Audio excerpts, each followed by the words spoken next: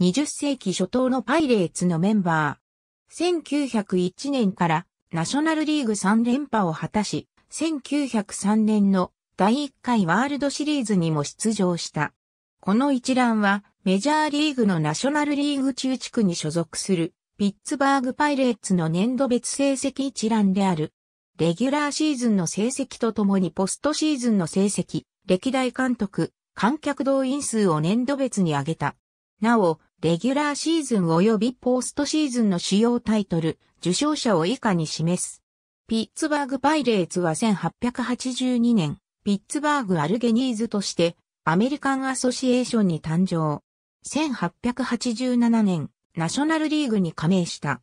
アルゲニーズとしての通算成績は441勝617敗。1891年よりパイレーツを名乗り現在に至る。2リーグ制になった1901年より3年連続リーグ優勝を果たし、1909年にワールドシリーズ初優勝。その後は1925年1960年の WS 優勝を経て1970年代には黄金期を迎える。